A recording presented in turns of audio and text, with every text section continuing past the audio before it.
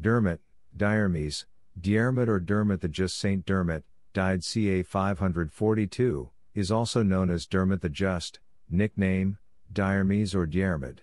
He was a native of Connaught in Ireland and possibly of royal heritage.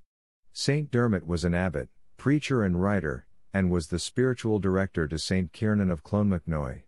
Saint Dermot founded the monastery of Fochladha, Lough Derryvaragh, County Westmeath and the great monastery of Inchcleraun on the isolated island of Innis Closran in Lough Ree. Innis Closran attracted many thousands of disciples and pilgrims and survived for six centuries after his death. The ruins of six churches are still visible on the island today. St. Dermot's feast day is the 10th January, the day of his death.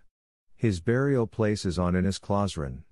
Pray for us that we will uphold the teachings of our faith. Glory be to the